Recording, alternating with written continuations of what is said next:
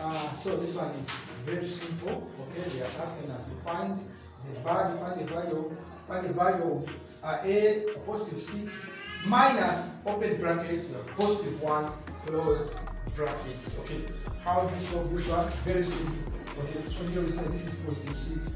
Negative times positive, what are we getting? Negative. Okay, so here the signs are different. What do we do when the signs are different? What do we do? Yes, uh, Doris, when the signs are different, what do we do? Yes, Martin. What? You subtract and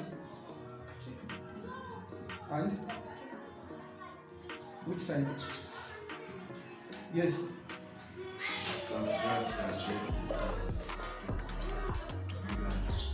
yes, we subtract and get the sign from the bigger number. This is simple, simple. So we have the bigger number is six. So the positive there. So we say positive six minus one. Here we just subtract and get positive five. Is that okay? Sometimes it's not necessary to put the positive sign. Just write it as because already know it's positive, and these positive numbers are natural numbers, meaning that they are used for counting. When you are counting, for example, I want to start counting, say, I'll say one, two, I can't say positive one, positive two, positive. I don't say that. Okay?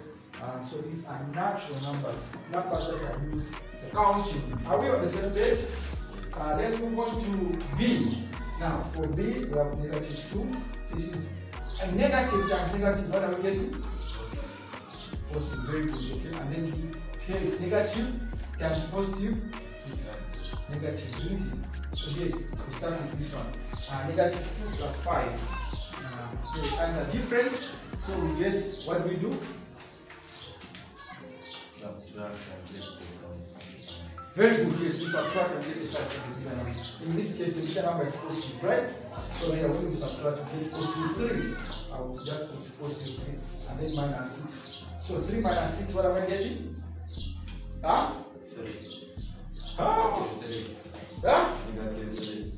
Yes, negative 3, okay? Because here the signs are different. So this is positive, this is negative. Uh, subtract and get the sign from the bigger number. In this case, the bigger number is 6. Okay?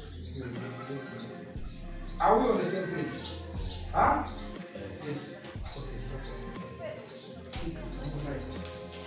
Questions? Don't be like some guy called Safons. This guy never used to ask questions. As a result, he got those wax from the ears. He thought it was honey. Ouch. You know that guy called Safons never used to ask questions. some guy called Safons.